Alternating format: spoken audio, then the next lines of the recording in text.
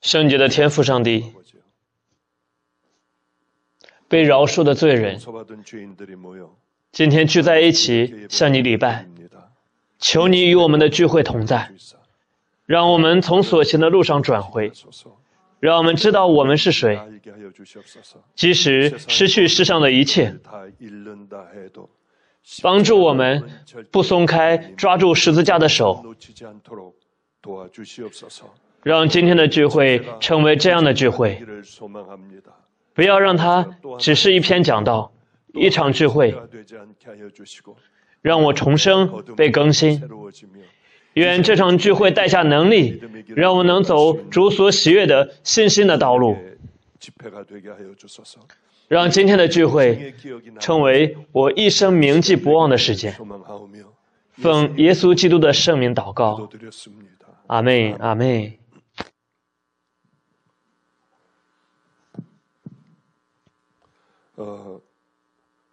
刚才我想了想我是怎么认识任真赫牧师的呢？很快就想起来了。好像是在监理教神学大学聚会的时候。那是场火热的聚会。不是因为我有能力。圣灵同在的时候聚会非常火热。如若不然无论再怎么准备也只能是让人长叹一口气的聚会。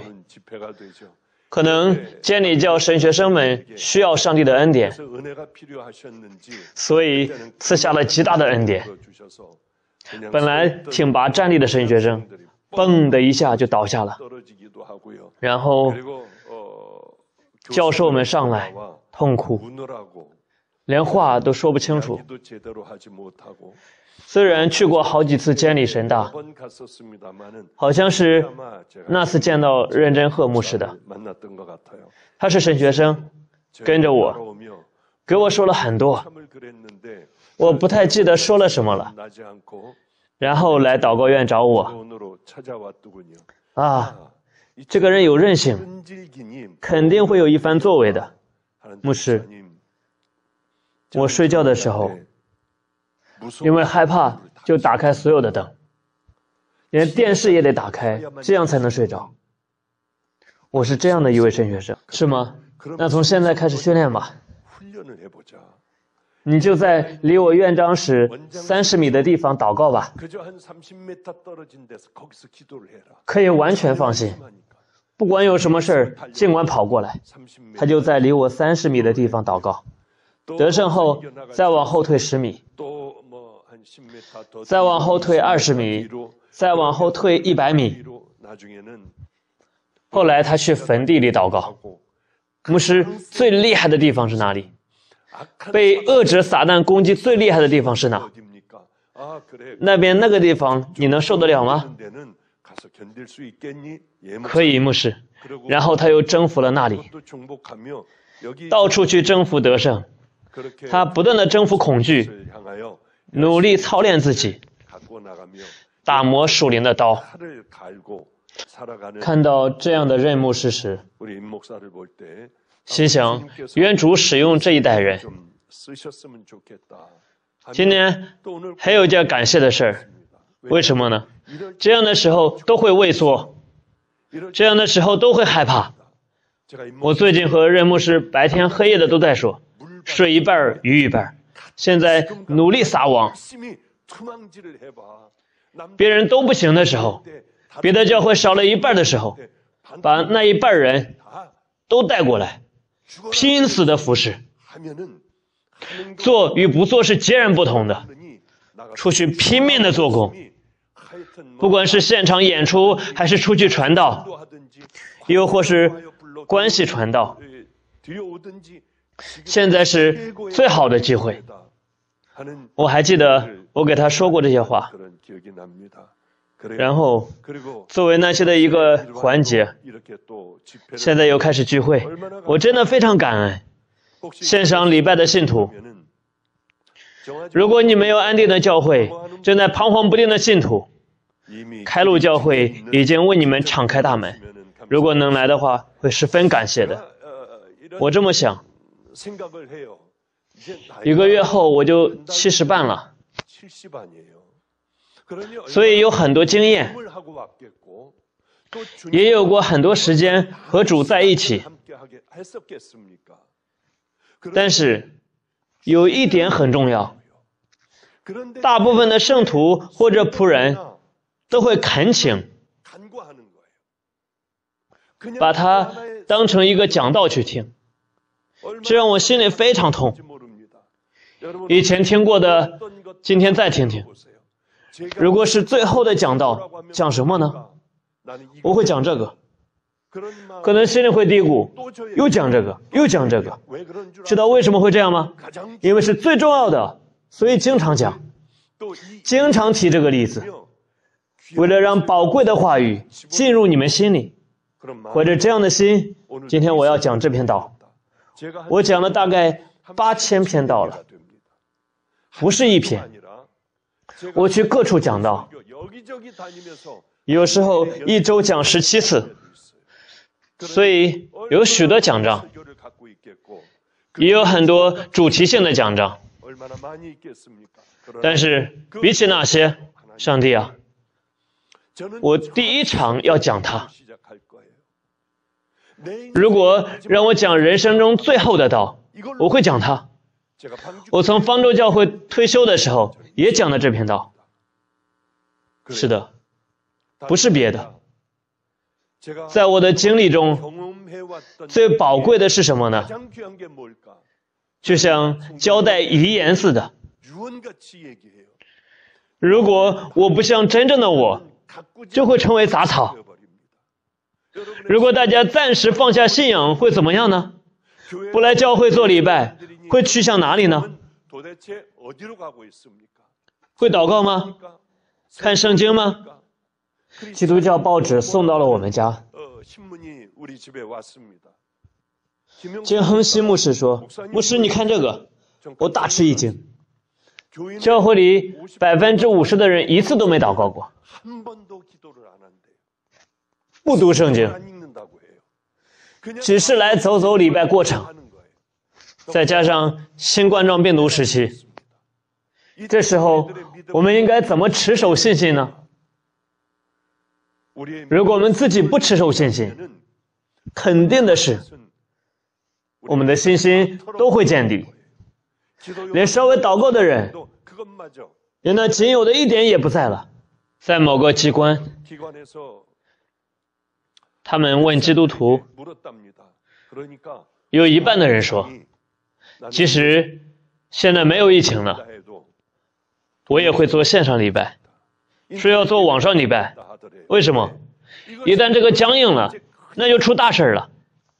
所以我一定要告诉圣徒我的信仰如果自己不保守如果自己不每天打磨我们真能保证进天国吗？以现在的样子最重要的是除了耶稣基督的十字架之外没有别的。再无得救之法。所以得救的信心的儿女必须和圣灵一起走向天国。如果不走埋于世界它能是真的吗？我们应该做什么呢？我经常说读马太福音五六七章，让它成为我自己的，每天灵修这些。我当放下什么？做什么主才喜悦呢？是啊，我经常带给别人很多伤害，现在我不说伤害人的话。说我爱你，我对不起你，我错了。用自己的言语鼓励别人。我要这样活。如果读马太福音五六七章，我的生活会改变，人品会改变，遵照主的话语，我会成为那样的人。如果你们不遵守这些。就像房子盖在沙土上，在那日都会倒塌，这是什么意思呢？是说。就算都倒塌了，你们也能进天国？是说这个吗？主说让我们征战，手犯罪了就砍下来丢掉，眼犯罪了就剜出来。你们这样做才能走向天国。耶稣赐给我们才能。你们要在世上过光和盐的生活，要过征战的生活，要在生活中操练敬虔。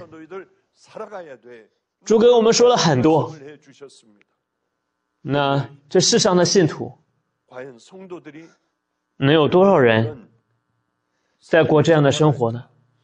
各位，马太福音五六七章是宝石中的宝石，破碎自己，让这些渗入到我的骨髓里。每一天这样去生活，这样天天活着。某一天突然去见主了。我见过太多这样的人了，是没做准备的人。任正和牧师和他也很熟，他信了一辈子耶稣，没见他落掉过礼拜。从晨祷开始，周四通宵，周五通宵，主日礼拜，从来没有落下过。但不知怎么回事，却犯了那样的罪，不害怕的样子。我这样问他：“你怎么走到这个地步了呢？”牧师，刚开始害怕，刚开始恐惧，但是十年过去了，十五年过去了，将近二十年就不当回事了。他犯这个罪这么久的时间，他说到后来就没什么了。有一天他脸色发黄，你怎么了，牧师？我不去看也知道是癌症，我会在痛苦中死去。像我这样的人，如果不得癌症受痛苦死去，那么上帝就不存在了。别说没用的，赶紧去医院吧。去了大学医院，是胆管癌，已经布满了全身，肯定非常痛苦的。尽管如此，他仍然犯那个罪。我得了癌症，即使在受不了的痛苦中，仍然犯那个罪，让我太震惊了。我们一般不都会这么想吗？时间久了，总有一天我可以的。虽然现在这样，总有一天我会正确视立在上帝面前的。能站得住吗？不能。我们只能以更差的信仰站在上帝面前，不可能以更好的信仰站立。为了能活出更好的信仰生活。大家要把马太福音五六七章每天存记在心，和圣灵一起把自己钉死在十字架上。如果没有这种敬虔的操练，真的能走好余生的路吗？所以我才讲这个。现在他已经离世了。包括认真和牧师，我们都一起过去为他迫切祷告。牧师不行，悔改不了，之后渐渐进入了昏睡状态。他说什么呢？能看见那扇门吗？挂着帘子，能看见那扇门吗？那个门太窄了，太窄了，所以我根本进不去。这是多大的冲击啊！一个牧师破碎的心，主任牧师啊，别提有多受折磨了，想尽一切办法，竭尽全力挽回。那天下着磅礴大雨，被淋成了落汤鸡，召集所有牧师喊着“主啊，主啊”，不行。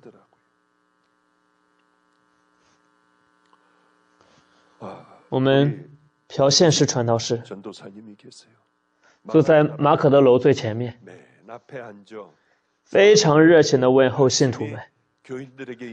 哈利路亚，哈利路亚。我在方舟教会是主任牧师的时候，他这样哈利路亚，哈利路亚的时候，我不让他那么做。我刚在方舟教会上任的时候，是那样决定的。太可怜了，传道士，不用在这也行。你去马可的楼祷告院，直到去天家为止，在那里喊哈利路亚，信徒们都能接受。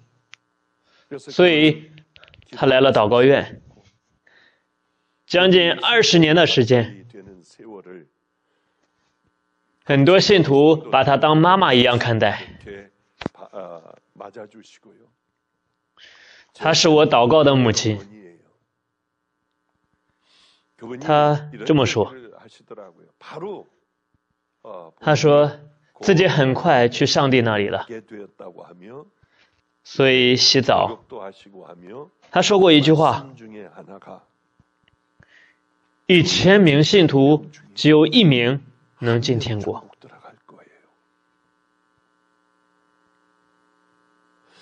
这样的话，如果出自我的口，会被判为异端。很多教会会联合起来攻击我。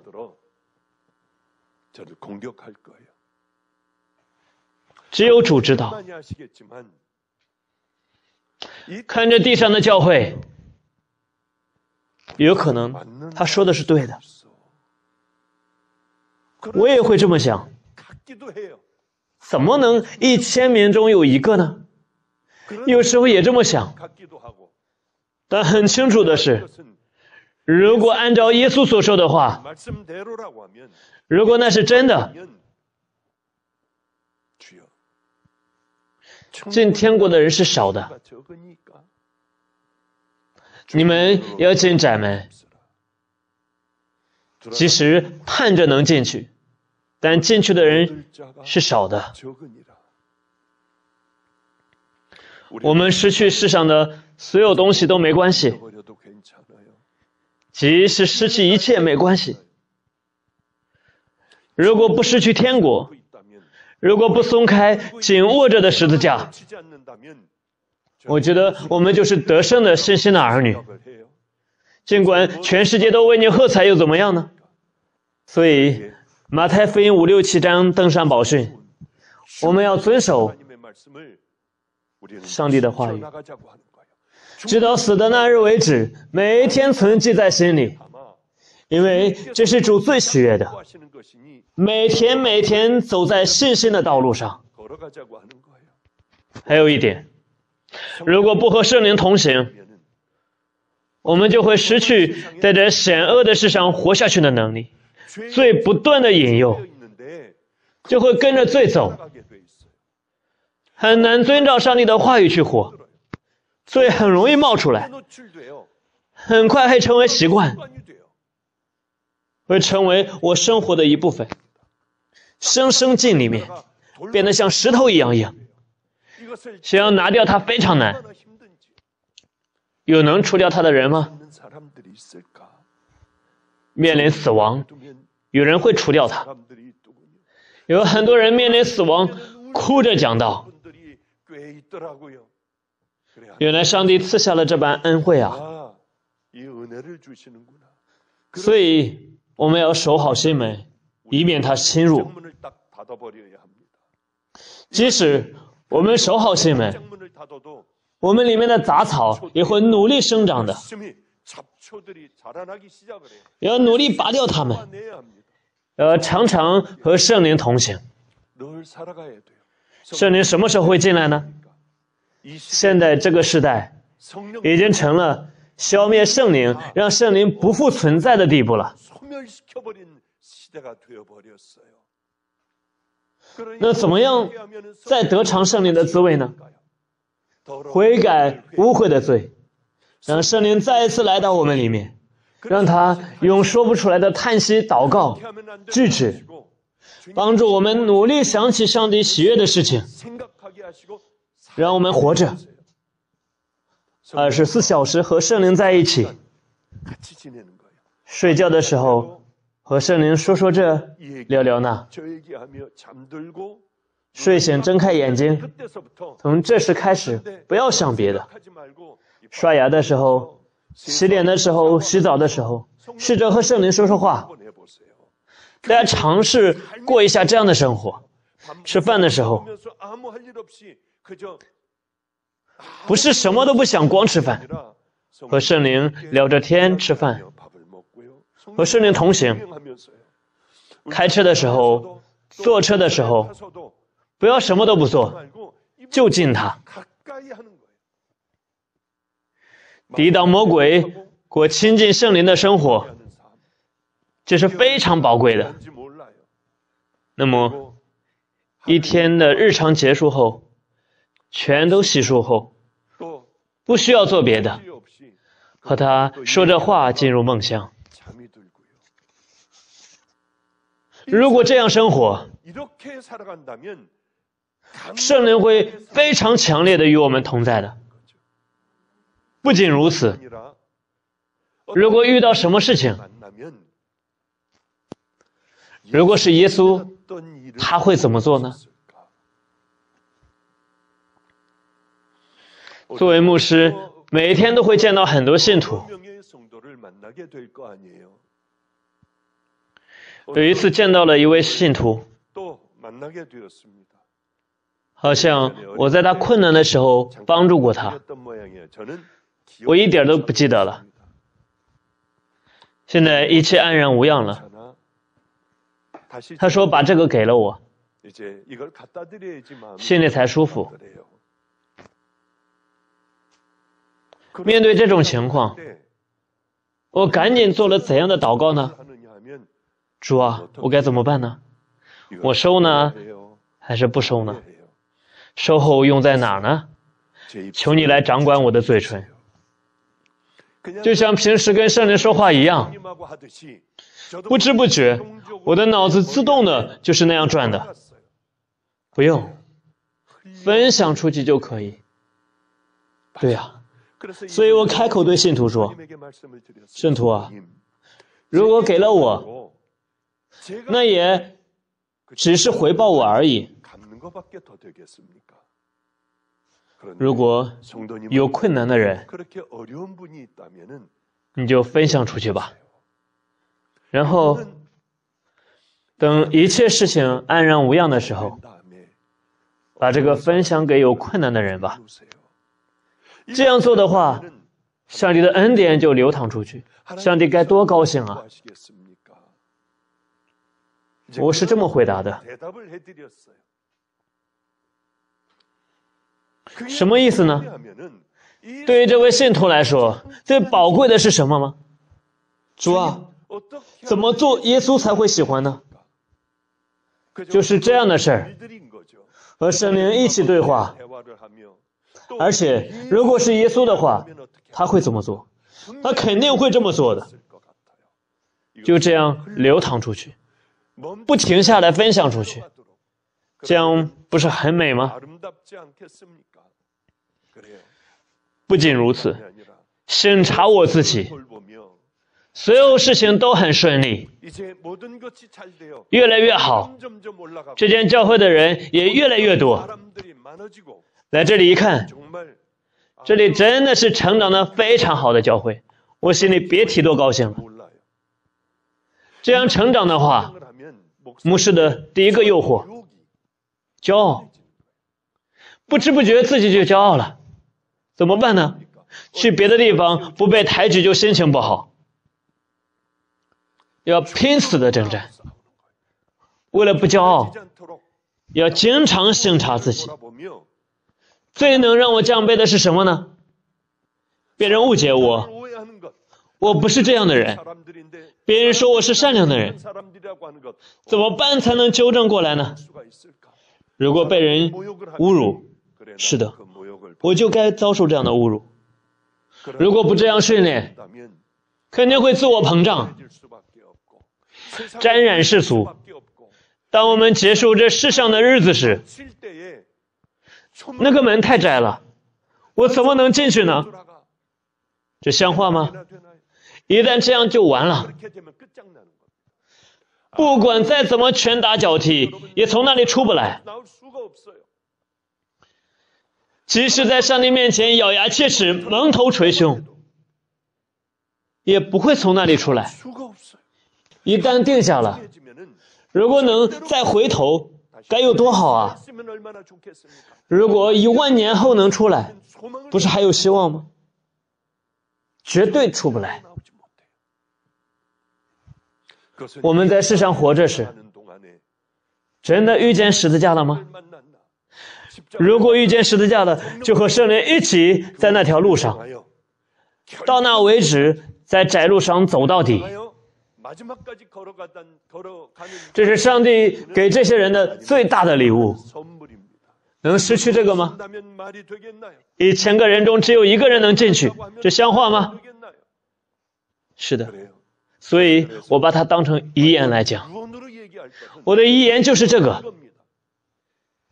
登山宝训与圣灵同行。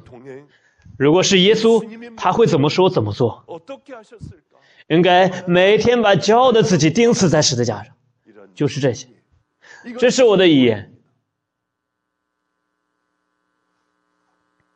带给我最大影响力的人可能大家听腻了是我爷爷。他没想到我能成为牧师想都没想到身上全是酒味儿、烟味儿，游走在世界上。一见到我，全是酒味儿、烟味儿。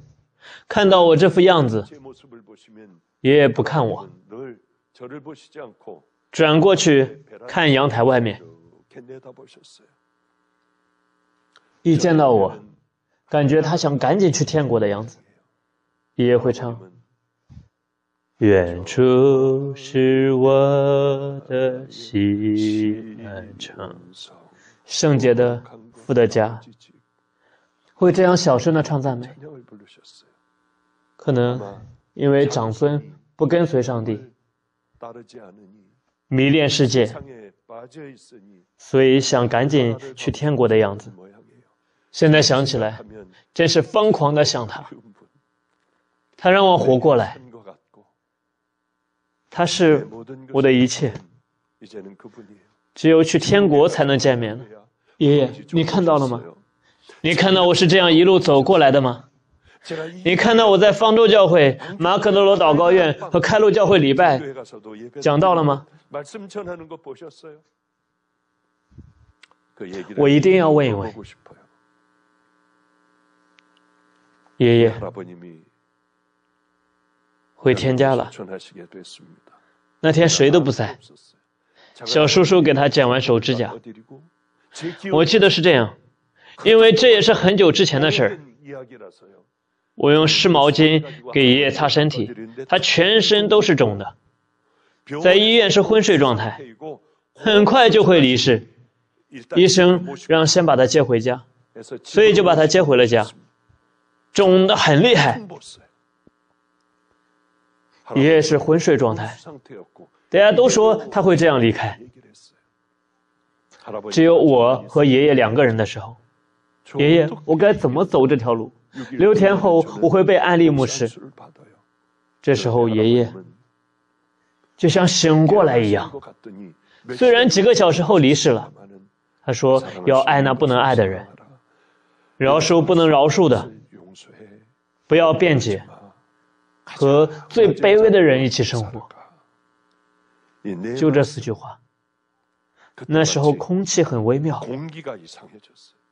兽一这样，撒撒撒撒撒，撒撒撒撒撒，好像能抓住一样，是非常奇妙的一种感觉。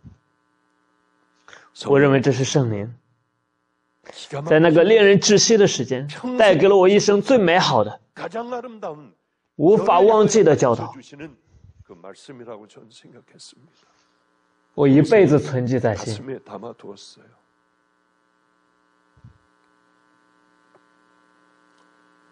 见到主的那一天，是吧？我小时候，教会里满是争吵。我作为牧师的儿子，那时候那些吵架的人算什么呢？说的话和朴传道士的话差不多。假的。知道有多少假的吗？我当时以为我是假的。你知道有多少假的吗？原来如此啊！我们很容易信错。大家要向上帝献上感恩。你们被传讲真福音的牧师牧养，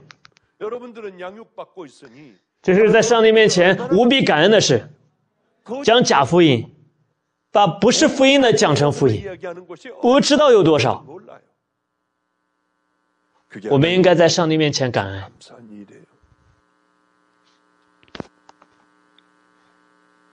假的，知道有多少假的吗？为什么说不要骄傲呢？因为我的仆人那么爱我，所以我要大大抬举他。这时候，他们遮盖了十字架上的荣耀，绝对不能遮盖十字架的荣耀。主啊，如果我走在这条路上，你抬举了我。当我遮盖十字架的荣耀时，请你击杀我，直接杀死。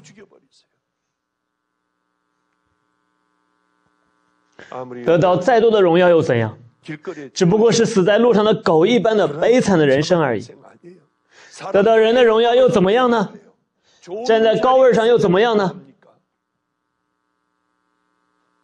人生已经完了，这样的路就算走一百遍有什么用？为什么呢？如果这样活下去，肯定有一天要去见主的。现在做的不是傻子干的事吗？作为圣徒，大家也想想，把用言语无法表达的那么美好的天国给我们，我们却不走向它，里面满了淫乱、虚谎这些。伪善、犹豫、愤怒，全是这些。如果走在这条路上的话，这真的太让人无语了。在这之前，赶紧死掉不是更好吗？这并不是说我让大家自杀，我们还有机会。如果现在不回头，越往后越刚硬。很难再回到上帝面前，所以牧师见过许多这样的实例。我明白了，所以现在要回转。如果不从现在开始就完了，假的。现在要把伪装的毛薅下来，要把假面具摘下来。上帝最厌恶的，大家知道耶稣最厌恶什么吗？戴着假面具生活。妓女就算卖了自己来到主面前，等在奸淫时来到主面前，主都饶恕。主说：“我不定你的罪。”可是不能饶恕的是那些戴着假面具的法利赛人和文士，不是斥责他们了吗？我一直把这个藏在内心深处。我有位老师。我的老师有各种各样的能力，是和上帝非常亲密的一个人。如果我见证那些，我会被判为异端和新使徒的，是我一辈子都没有见过的光景，还有神迹。偶尔会和任牧师一起分享。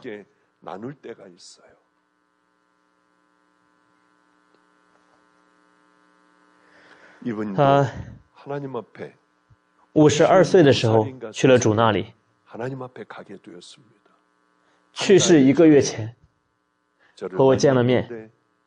他这么说，他会在整三十天后去见上帝。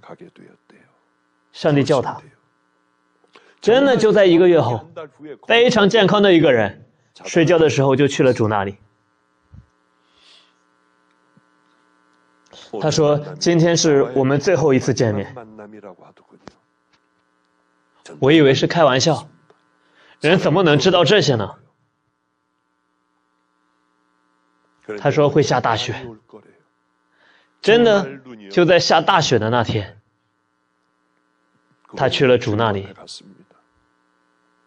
睡着去的。他离世一个月前来见我，跟我说，自己马上要走了。在这个世上，无论怎么声名显赫，满有尊荣都是无用的。离开的时候都会放下，徒劳无益的事。所以要把羊带到天国，把所有的都给羊，哪怕是视网膜也摘下来，所有的都分出去。我们双手空空的在天国得冠冕吧，荣耀的冠冕，义的冠冕，生命的冠冕，这些不会消失，是永恒的。不要暂时享用后就丢弃。我们向着荣耀的冠冕去活，然后去建筑。他说：“我们在天国见吧。”这些也都深深刻在了我心里。所以，我自己非常吃力的开始走窄路。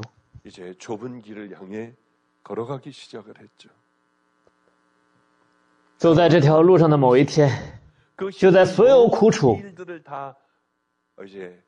都要结束的那个时候，好像遇见主后十三年左右，十二三年吧，现在我都忘记了。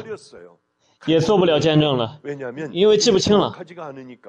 上了年纪总是迷迷糊糊的，想不起来是什么时候的事儿。我经常这样。然而，我遇见上帝后，学习了聆听上帝声音的方法。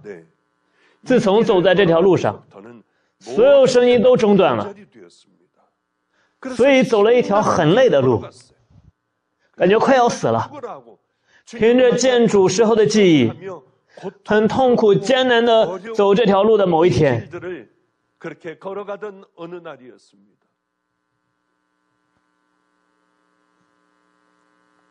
把孩子送去学校了，被丢在路边的孩子，偷盗的孩子，把这些孩子送去上学，他们认真去上学。孩子们上学之前，我一一抱着他们，为他们祷告。你们要用祷告养育儿女，如此，就算被丢弃的孩子，最终也会回来。有一个小混混，上初三，他是个痞子，个子也不矮，很端正，打架也很厉害。圣徒江寒水出席这里的教会吧。应该不远。他上初三的时候偷了辆车，从安城那边跑到这中青道那里。这个孩子多么有胆魄，后面装着刀和棒球棍。忽然有一辆好车开过来了，看到一个小混混在开车。这被谁看到了呢？被当地的痞子们看到了。那是谁在我们管辖区？那是谁？然后就一直跟着他。他们一下车，一群人，他却是一个人。初三的时候，他开开门，带上一把刀，拿上棒球棍一过去，那些大块头们直接逃跑了。他是这样的一个孩子。昨天他给我联系了，他的父亲也姓朴，他的父亲是朴宝勇牧师。他这么说，他们都是像我的孩子一样。他说他想见他。不知道怎么说他。让我心里很痛苦。总是在派出所进进出出的一个孩子。这孩子要来找我。说不定就像江寒水圣徒一样得救了呢。好。你星期四的时候来找我吧，我在马可的楼祷告院讲道，星期四见吧。上帝，在我年老时，那时候真的是一片黑暗，无数次在上帝面前祷告，也不成就的这些事儿，怎么最近到了七十二岁的时候？他们能回来呢？还有一位奶奶把四岁的孩子扔给了我。这个孩子也上研究生了成了我漂亮的女儿。两个月后举行结婚仪式。和方舟教会的牧师举行婚礼。人们的建议都是这个。牧师作为爸爸带着他进礼堂吧。对于这个我没有自信。让我主婚我有自信。如果领着他进去我哭起来了可怎么办呢？这当中有很多缘由。上帝让我在最后的日子一一结出那幸福的果子来这个孩子为什么要来见我呢？既让我心跳加快但也有一丝担心我就这样走过了苦难的岁月曾经为他们祷告后再让他们上学他们走后有人在叫我。我出去一看没有人。是不是十三年前主呼召我的那个声音呢？跑到讲台低着头呜呜的哭。光哭了光放开声的哭了为什么呢我本是心软的人但是经历了各种各样的事儿大部分都是我无法承受的事情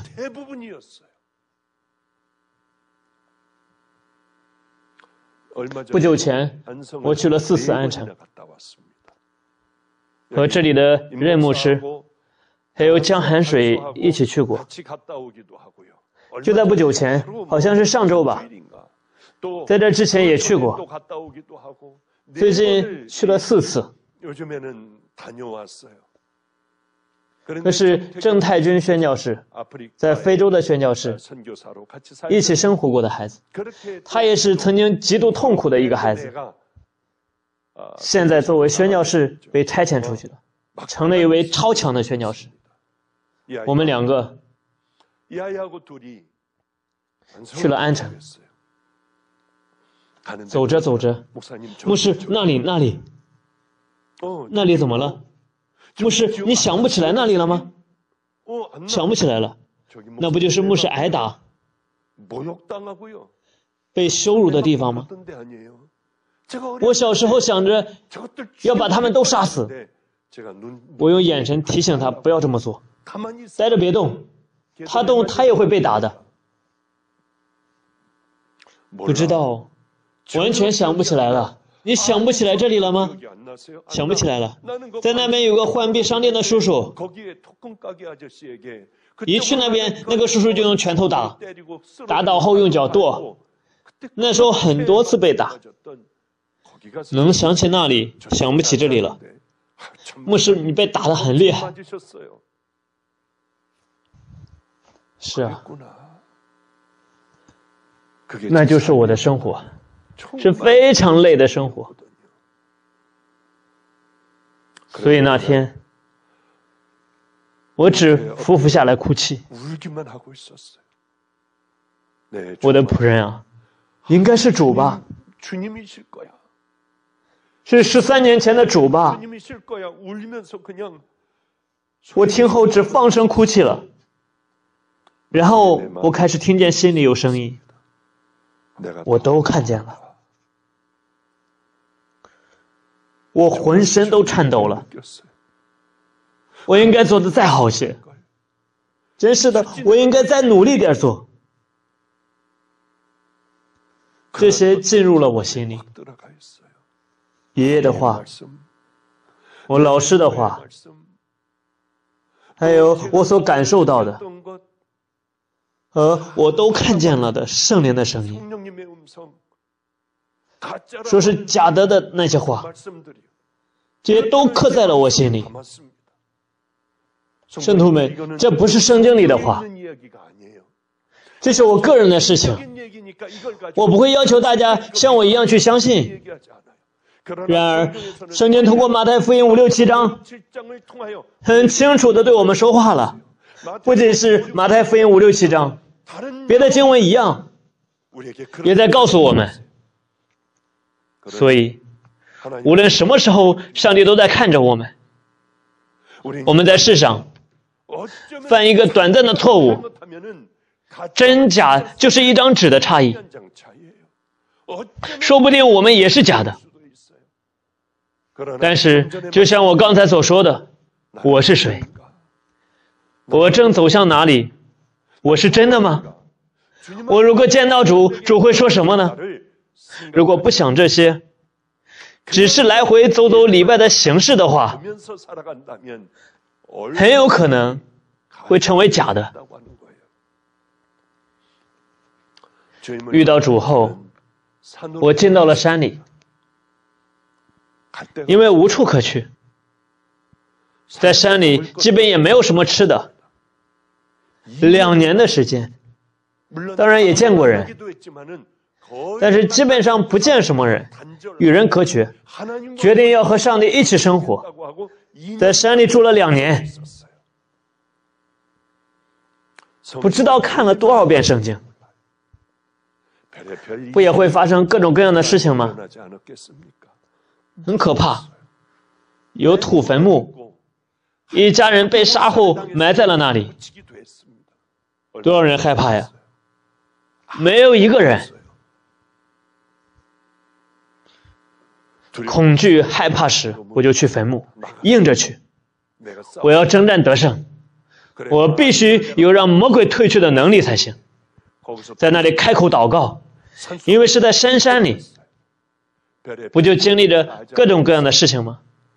如果要讲那些，就算熬夜讲一个月也讲不完。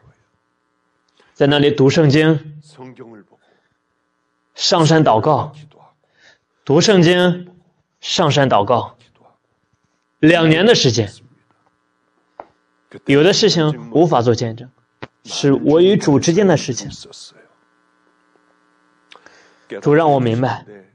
让我大彻大悟的明白了圣经，一旦拿起来也不吃饭，从早到晚的读经，因为晚上要去山上祷告，祷告的时候主会复辟保护，在那里睡醒起来后，身上不沾一滴露珠，躲避现在得躲开。嗯什么呀？睁开眼睛一看，卡其色，有点像灰色的毒蛇，正在看着我。经历了许许多多，然后读圣经，再读圣经，像火烧着般的领悟。读罗马书的时候，滚在地上哭泣。有过这样的岁月，圣经变得越来越简短了。我怎么样才能得救呢？怎么样，我才能得永远的生命呢？我问耶稣，耶稣说什么呢？永远的生命。我现在正在讲天国的事，怎么样才能进天国呢？耶稣这样说：尽心。尽性、尽力、尽意爱主你的上帝，这是进天国的方法。如果我们不这样爱上帝的话，我们很难进去。这是主说的。各位，真的爱上帝吗？不要随便打阿妹。我们真的爱他吗？大家真的尽心、尽心、尽力、尽意，拼上一切的爱上帝吗？而且你们爱邻舍如同爱自己吗？我们很难做到，我也做不到。能随便的回答阿妹，但真临到我身上的时候，坦白询问自己时，我做不到。我好像更重要，我好像没有尽心尽性爱我的上帝。可是有一点很清楚，我总是抓住十字架。和圣灵一起生活，因为有这样的生活，所以不足的时候让我能得以明白，而且真是有我无法容忍的事情的时候，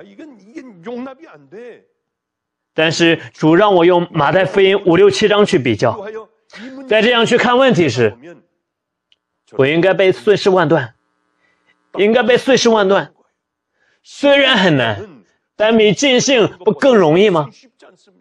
直接做了，直接做完，即使被侮辱，即使被惨痛和毒辣的羞辱，也把该做的事儿都做了。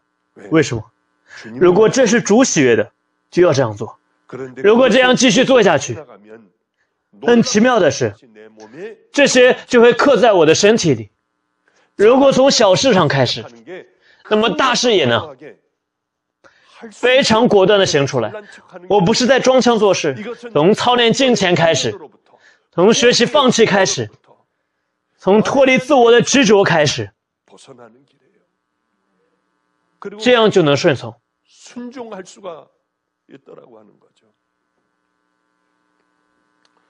我是这样想的。怎样牧会呢？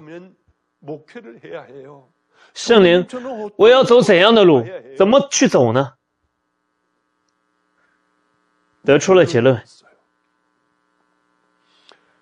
如果不遇见十字架，不走窄门窄路，若走宽门犯着罪，我们仍然可以去传道。即使我还是紧抓着不放，现在污秽的罪孽都顽固不化，我们仍然可以做有恩典的礼拜。要灭亡的人头上长着角吗？要下地狱的人会以撒旦的形象坐在这里吗？不会的。即使在信徒中，即使有金钱的外貌，里面是撒旦的样子，有许许多多的追求。一千名当中很难有一名能进去。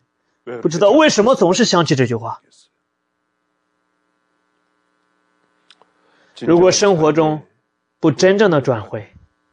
简单的说，如果不悔改，不遇见十字架，如果不总是审查自己，如果不站立在上帝的话语面前，如果不与圣灵同行，到头来肯定会自食其果的。我真的能进天国吗？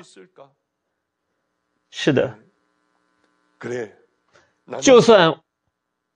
我服侍，非常热心的出席教会，即使把整本圣经都背下来了。如果不能真正得救的话，生活不能与所蒙的恩相称。虽然是靠着十字架的宝血得救的，如果不走向成圣之路的话，很大几率上会成为假的。所以我要讲这个，我讲到讲这个。今天怀着这样的心，我要讲什么呢？想着想着就想到了这。现在要进入本文正道，但是已经到结束时间了。我本来说要讲五十分钟，现在已经讲了一个小时了。嗯，大家知道就行。该好好讲的，大家知道一下。本来想着讲完这些就结束，但是觉得就这样结束还是不行。我这是老了，为什么这么说呢？因为在我们家里有四棵柿子树，树上果实累累，其实很多果子，我喜欢果子，有苹果树、枣树、柿子树，也有无花果树，种了各种各样的树。母亲总是说：“把这些都砍掉，种上些花该多好看！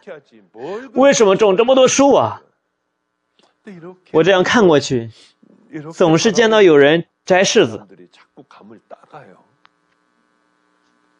我不是说这些人怎么像小偷似的偷人家柿子，我觉得有意思。他们摘我们的，迅速摘下来。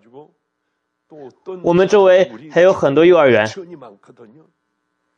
孩子们摘下来带到幼儿园去。以前呢，我觉得怎么能随便拿别人的东西呢？现在好像上了岁数，看见觉得挺有意思的。而且树上不仅有麻雀，还有其他奇怪的鸟飞来，啄了柿子后望天。就像喝水似的，突突突，啄了后望天。他们太可爱了，所以我下了命令：如果把柿子摘下来，够我们在场的所有人吃的，还能留下，不管我们家的什么果子，都不要摘，让别人去摘，让鸟去吃。别人肯定觉得我们家很奇怪，因为。柿子树上的柿子太多了。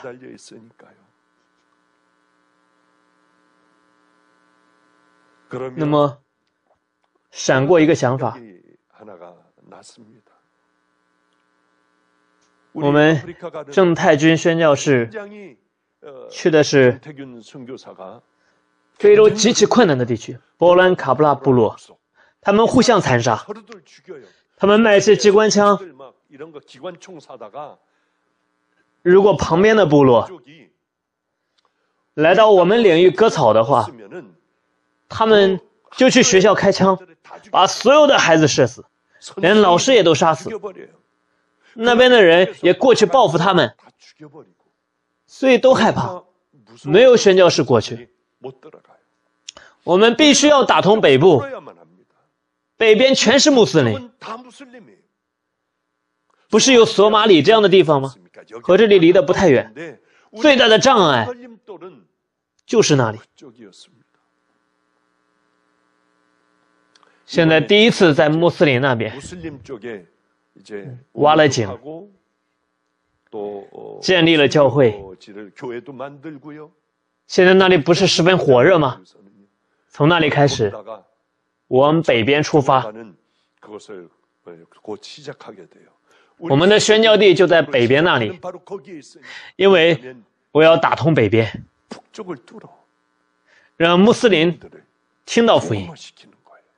为此要先建保育院，好好培养孤儿，并且建立教会。虽然会遭遇苦难，但是为了向那些人传福音，所以现在买了地。在那里挖了井，那里是沙漠，不出水。然后有一个最可怕的寨子。正太君宣教士，他们一家人进入了那里，彼此残杀，不让宣教士进去，放在废塔上点火烧死。还有一个九岁的女儿，听到我讲这篇道了，他非常惊讶的跑向爸爸，爸爸爸爸，我们真的要去那里吗？嗯，我们得去那儿，去那里成就上帝的旨意。所以他从非洲回来，在那上了小学后转到这儿来，着急的时候就会说出英语，大声喊叫。不行，我们得去，上帝会保护我们的。我在他家地下用混凝土给他们建造了危险时躲避的场所。为什么这么做呢？听到孩子的话，我非常感恩。牧师，我生活的很贫贱，脏兮兮的长大。母亲喝农药自杀了，姐姐上吊自杀了，而且父亲酒精中毒。牧师，我出生在这样被咒诅的家庭中，本来也是酒精中毒者，现在走上了仆人的路，我一点儿也不害怕。如果能在那里荣耀的死去，我觉得我是这世上最幸福的人。上上周和这个孩子去了最后的两天一夜的旅行，不知道为什么总有不祥的想法。你和我一起去旅行吧，所以和他一起去了树草。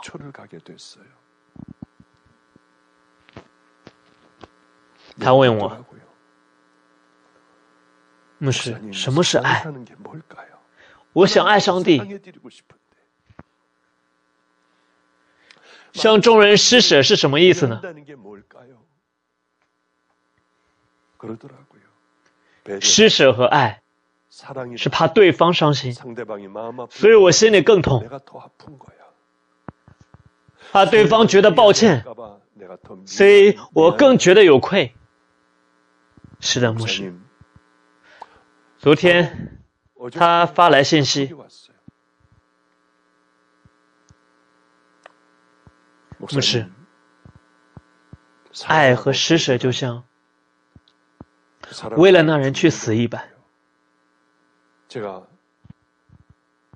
我们为了主耶稣，一定会施舍的，真正去爱，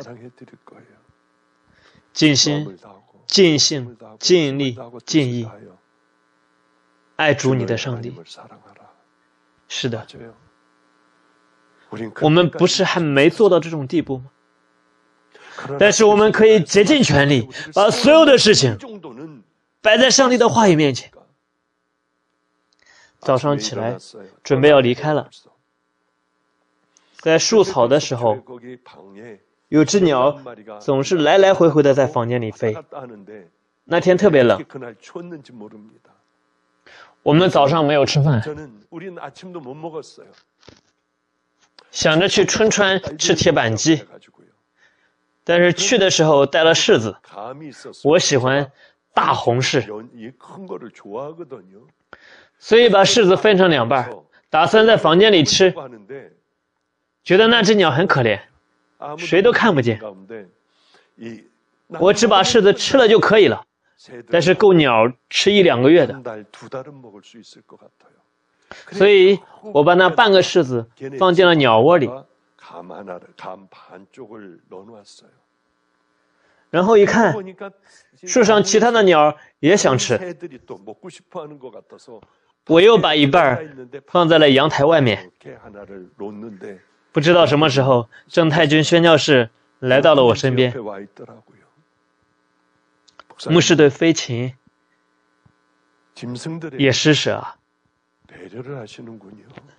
我本来想把这个给女儿吃，如果非洲的孩子说饿了，我就给那个孩子。真是非常感恩，毫无希望的孩子，竟然走向了这么宝贵的信心的道路。为了主。尽心、尽性、尽力的爱主。我想到了这些。我最近觉得自己是个幸福的牧师。今天本来想一直讲下去的，今天就讲到这儿吧。下次再见面，一起分享上帝的话。我们开拓了一间教会。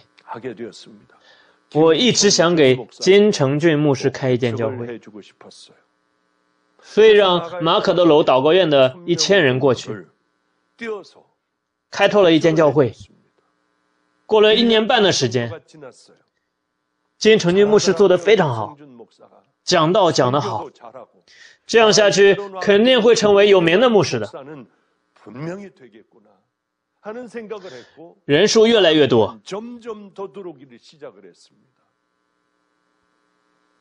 然而，有一天在肯尼亚，有一间三十人聚会的教会，来邀请金城俊牧师，三十几个人。他现在牧养一千多个人，万众一心。他来找我，牧师，有个三十人的教会来邀请我，我不会勉强他说去吧，不去吧，都已经长大了，我也退休了，没办法这么说。你是怎么想的？如果牧师说让我去，我会全部都放下。哦，不错嘛，我心里这么想。按照从我这里所学的，你来做决定，我不能说。如果按照牧师教导的，不是应该去小地方吗？如果你不在。我要去那里讲道，不是吗？他本人说：“我要下到卑微之地，非常感谢。昨天去了肯尼亚，带着他的儿子，还非常小。昨天带着孩子们离开了，谁都不要去送他。”让他孤单凄凉的去吧，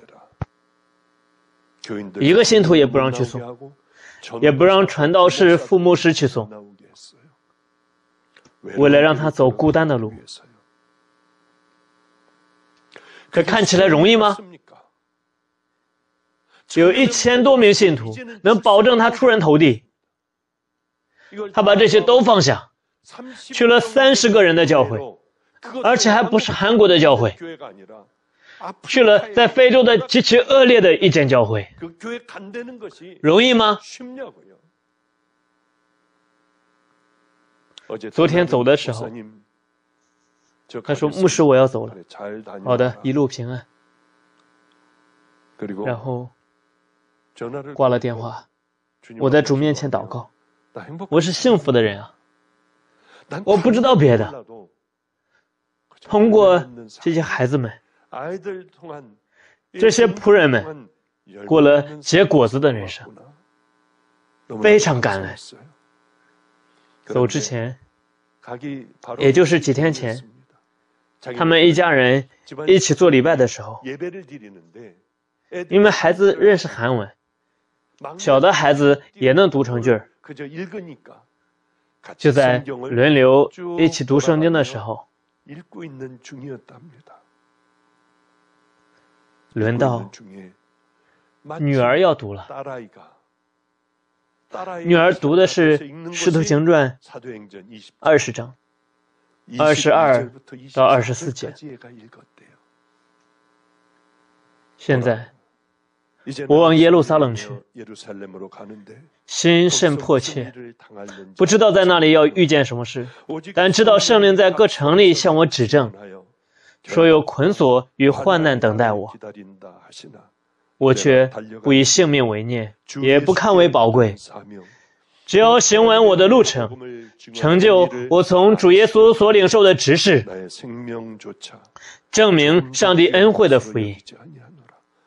女儿读这段经文，妻子痛哭，他自己也痛哭哭泣。读这段经文的女儿不知道怎么回事，哭起来了。儿子看着爸爸妈妈、姐姐都哭，他也跟着大声哭。我心里悬然欲泣。牧师，不要担心，我会拼命啊牧师您关心的施工建立起来的。是啊，你是我儿子，按照我的心愿打通北边。他昨天离开了。我们的人生在世的享受转瞬即逝。现在世界中的人只愚昧的看着世界。我们不要这样。我们是承受天国的宝贵的圣徒。从现在开始，我该怎么活？今天晚上大家再次深思。从现在开始，要活出结果子的生活，让主喜悦的生活。我们一起热心的走窄门窄路。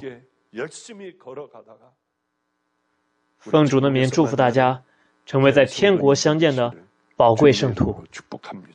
我们来祷告，圣洁的天父上帝。让今天晚上成为绝志的时间。为什么总是不行呢？上帝啊，难道真的是一千名中只有一人吗？今天聚集在这里的儿女们，因着饥渴慕义来到这里，让所有人都从现在开始奔走这条路。让我们不看这世上的一切。让我们单单仰望钉死在世界上的主耶稣，奉耶稣基督的圣名祝福祷告，阿妹。